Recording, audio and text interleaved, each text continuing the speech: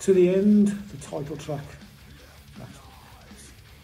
Not much to say about it really, it's just a song. Um, again, this one is a song about you know life in general and uh, succeeding and keeping on and staying true to yourself. Um, the lyrics kind of like were taken directly from um, a, a, couple of verses were taken directly from a, a, a poem that I'm kind of very fond of and, and, I've used on virtually every album that I've mm. recorded since you know since since for Victory back in the day with uh, my former band.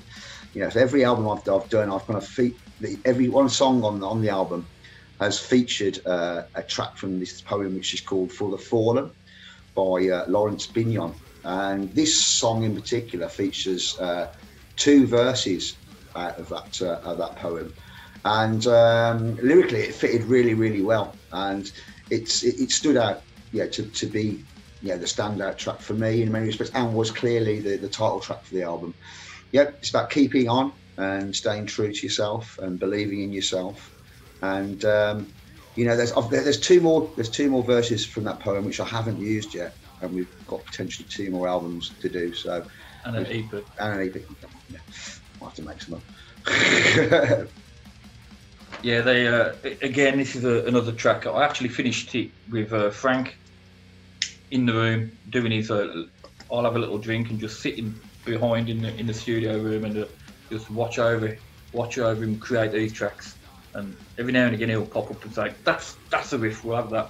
It was one of them tracks. I got the initial riff, the uh, the chord sequence, and I, um, I put the leads over to follow them, and it just all fell into place. Again, another track with quite a few riffs in out of the box that we wouldn't normally do. Um, but I think that it all works again, and yeah. Can't keep doing the same thing all the time. Absolutely, yeah. I think I think when, with uh, with spikes, kind of like drums, or the way it kind of follows, follows the pattern, and, uh, hits yeah. really hard. I think that really really works well and and defines that song uh, as a very strong uh, track off the album, and that's why uh, it's the top. This is why I keep on disappearing. Uh, that's why it's the t- title track, and uh, yeah, it's, it's come out really well. When I was doing this, I put a lot of time and effort into the drum parts.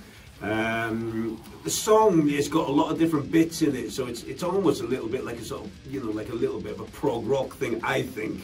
I don't know if that's the intention that Scott Adwell if he's doing it, but it's got a lot of bits. So you know, drumming wise, I wanted to reflect that and, and come up with uh, appropriate parts. I spent quite a bit of time working out the intro, which I was struggling to to to to, to, to catch the accents in, but I got it in the end. And uh, when I went to have one rehearsal with the band, it was one of the songs that we had a bash at, and uh, they really liked, you know, like what I'd come up with. So uh, I made sure to get a good version down, when, you know, in the studio when we were when we were recording. it become it becomes a very intense track though. It, it, I didn't envisage it coming out the way it did, the way it was it built up. In the end, it was really intense and it's actually a good song now I'm thinking about it I should actually play those songs to remind myself but tend not to play them once I've recorded them